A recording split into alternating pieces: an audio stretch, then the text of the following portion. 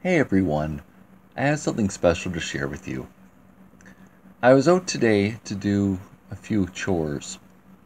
On my way home, someone said, Excuse me, do you know where? and named a street.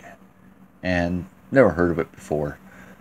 So I said to the person, If you wait about five minutes, I'll go home, find it on the internet, print off a map, and come back to you.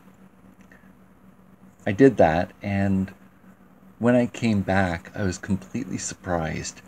She handed me the small bouquet made out of wild flowers. There's a few pieces of clover in there and a few um, a few other pieces and made me this little bouquet.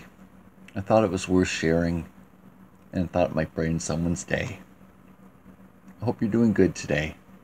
Bye for now.